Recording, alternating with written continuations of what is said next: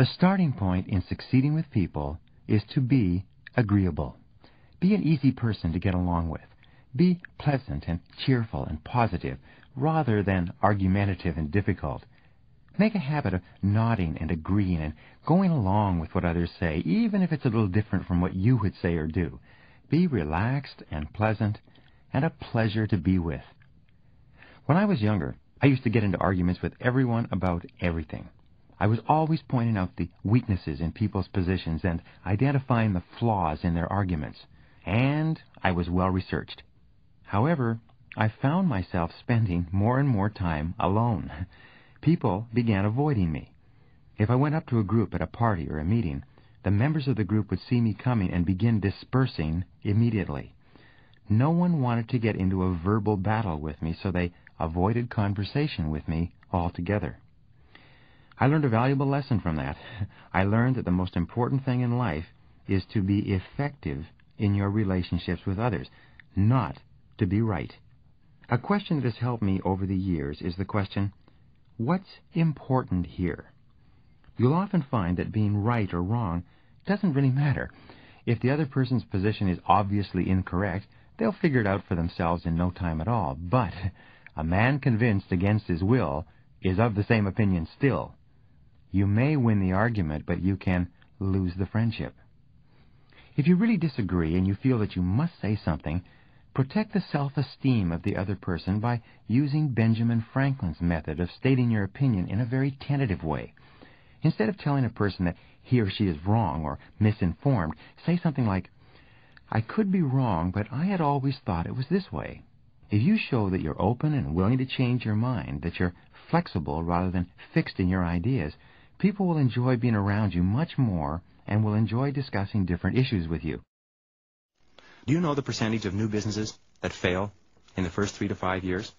According to the experts, approximately 80% of businesses fail within that period of time. However, recently they've been dividing new business startups into two categories. The first category is businesses started by people with five years or more of business experience. And the second category is businesses started by people with no business experience at all. And the statistics turn out to be very different for these groups. Businesses started by people with experience in business have a 90% or better success rate, whereas businesses started by people with no experience have a 99% failure rate. Now, does that make sense? Of course it makes sense. If you don't have any experience, how can you make a business successful? Business is too complicated. Every so often I have people come up to me and say they want to borrow money from the bank to start a business. And I said, well, have you built a successful business before? And they say no. And I say, well, then there's no banker on earth that's going to lend you any money. The only way that you can borrow from the banks is when you can demonstrate to them that you don't really need it, or that you have at least two to one asset coverage. Now, the reasons are obvious why people with experience succeed and why people without experience fail. It's the same in life. People with success knowledge and experience succeed, and people without it fail. We know that the more successful you are, the more success experiences you have, the more likely it is that you will be successful in other things. We know that the fewer success experiences and the less success knowledge you have, the less likely it is that you'll be successful. Do you know the success rate for an established franchise, one that's been in business for at least five years? Well, according to the experts, it's 70 to 90% success rate. McDonald's, for instance, has over 8,600 outlets, and they haven't had a failure in 25 years. Now, why should this be?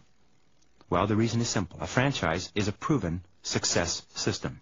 It is a system based on years of trial and error.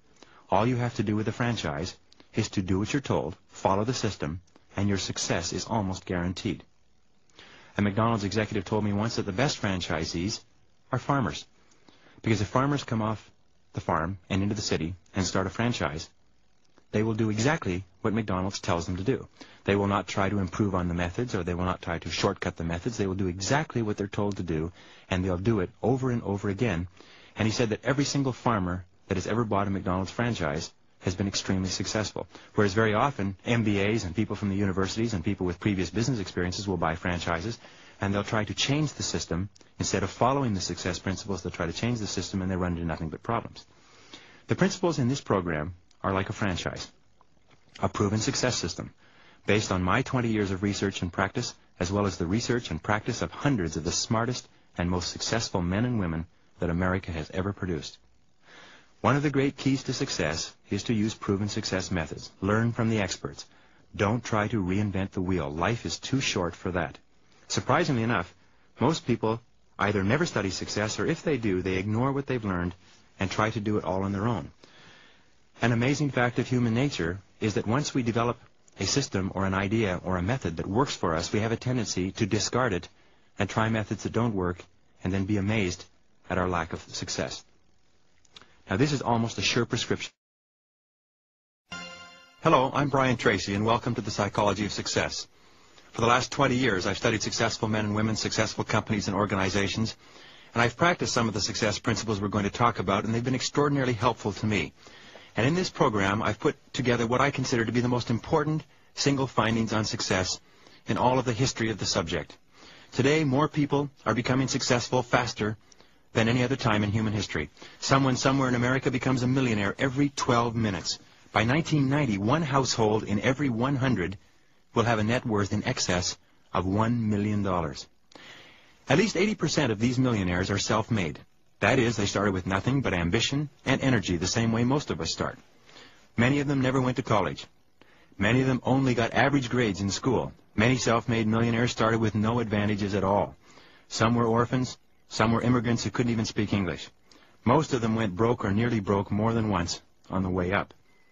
Self-made millionaires, Olympic athletes, high achievers in the arts, science, business, and every other field have been studied exhaustively to find out what makes them tick.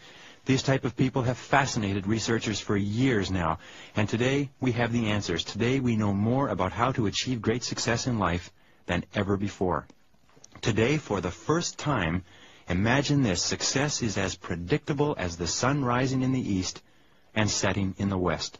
Today, Success is a science. It has been broken down and subdivided, and anybody can achieve greater success, wealth, and happiness in life if they will simply do two things. First, make a decision to be successful right now.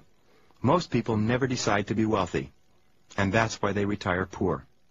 According to actuarial statistics of 100 people working today who reach the age of 65, one will be wealthy Four will be financially independent. Fifteen will have some savings put aside. And the other 80% will be flat, broke, busted, dependent upon pensions and charity. Only 1 or 2% will ever do really well, and that is in spite of living in one of the most affluent societies in all of human history. And the second requirement if you want to achieve greater success is simply this. Learn from the experts. Study successful men and women and do what they do, and you'll be successful too. It sounds simple, doesn't it? Well, if you want to learn to be a good cook, you study cooking. You don't try to figure it out for yourself. You buy cookbooks, and you take classes and lessons, and you learn from the experts. If you want to be an engineer, you go to the university and you study engineering. You learn from other engineers. If you want to be successful, you study success. You become an expert on success. Now, I'm astonished, and I'm always astonished at some of the most important things in life. People think that they're going to learn them by osmosis. I'm always amazed that most parents never read about how to bring up happy, healthy, self-confident children, and they can't understand why they're having problems with their kids. And I'm amazed that many people never read and study communications and human relations, and they wonder why they have problems with other people. And I'm always astonished that men and women think about success day and night, and yet very few of them ever read about it, ever study it, ever listen to tapes, ever take courses or seminars. They seem to excuse them by feeling that these are the sort of things that they're going to learn by osmosis. There's just something going to attract them. Hello, I'm Brian Tracy, and welcome to the Psychology of Success. For the last 20 years, I've studied successful men and women, successful companies and organizations, and I've practiced some of the success principles we're going to talk about, and they've been extraordinarily helpful to me. And in this program, I've put together what I consider to be the most important single findings on success in all of the history of the subject. Today, more people are becoming successful faster than any other time in human history. Someone somewhere in America becomes a millionaire every 12 minutes. By 1990, one household in every 100 will have a net worth in excess of $1 million. At least 80% of these millionaires are self-made. That is, they started with nothing but ambition and energy the same way most of us start. Many of them never went to college. Many of them only got average grades in school. Many self-made millionaires started with no advantages at all. Some were orphans. Some were immigrants who couldn't even speak English. Most of them went broke or nearly broke more than once on the way up. Self-made millionaires, Olympic athletes, high achievers in the arts, science, business, and every other field have been studied exhaustively to find out what makes them tick. These type of people have fascinated researchers for years now, and today we have the answers. Today we know more about how to achieve great success in life than ever before. Today, for the first time, imagine this, success is as predictable as the sun rising in the east and setting in the west. Today, success is a science. It has been broken down and subdivided, and anybody can achieve greater success, wealth, and happiness in life if they will simply do two things. First, make a decision to be successful right now. Most people never decide to be wealthy, and that's why they retire poor.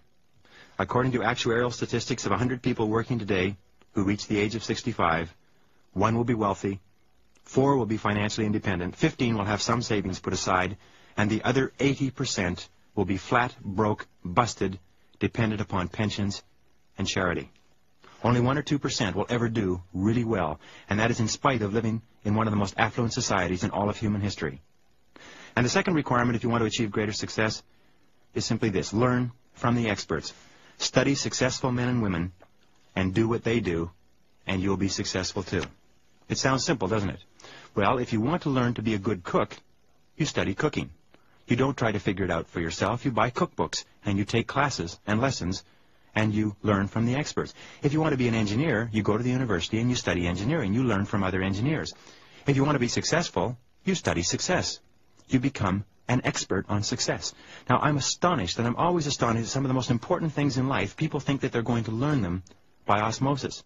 I'm always amazed that most parents never read about how to bring up happy, healthy, self-confident children, and they can't understand why they're having problems with their kids.